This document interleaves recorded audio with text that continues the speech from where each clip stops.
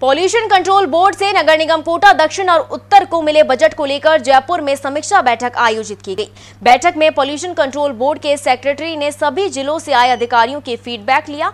बैठक में दोनों निगमों के अधिकारी भी शामिल हुए। नगर निगम के मुख्य अभियंता प्रेम शंकर शर्मा ने बताया की बैठक में पॉल्यूशन कंट्रोल बोर्ड से मिली राशि की उपयोगिता प्रमाण पत्र पर चर्चा की गई। सिटीज़ को पॉल्यूशन कंट्रोल बोर्ड के तहत राशि प्राप्त हुई थी।